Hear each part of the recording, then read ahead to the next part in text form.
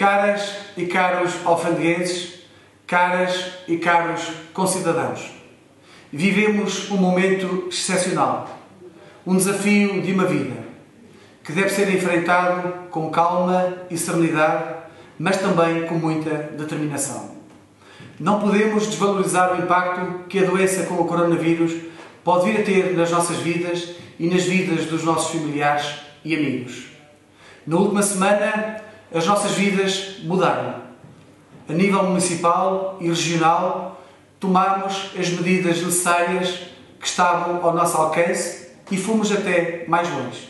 Fomos um exemplo para prevenirmos o desenvolvimento da pandemia com o coronavírus Covid-19. Ainda não temos a doença no nosso Conselho e na região existem poucos casos. Quero agradecer-vos a todos, sem exceção, incluindo às instituições e às forças vivas do nosso Conselho, pela compreensão e apoio que tive ao longo dos últimos dias, pela forma também como aceitaram todas as medidas que foram sendo impostas e decretadas.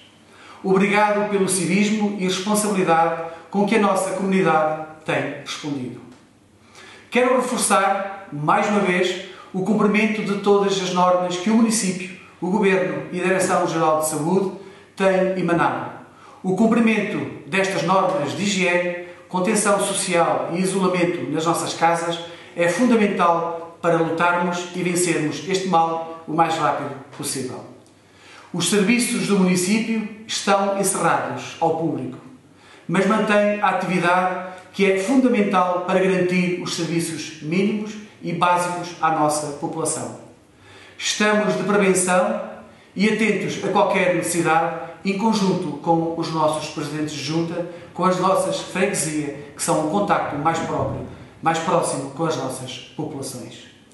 Faço um apelo especial aos nossos empresários e empresárias de serviços não essenciais para seguirem as normas adotadas pelo município, ou seja, promover o teletrabalho sempre que possível e encerrar os espaços comerciais. Aliás, à imagem do que também muitos empresários e empresárias do nosso Conselho já fizeram de forma responsável e preventiva. Somos uma comunidade pequena e não podemos controlar tudo o que se passa no resto do mundo. Todos precisam de saber que é tempo de parar, é tempo de cancelar todas as atividades para protegermos as pessoas, especialmente os mais idosos os nossos idosos. Esse é hoje o nosso grande desígnio. Conto com todas e todos, juntos vamos superar esta crise.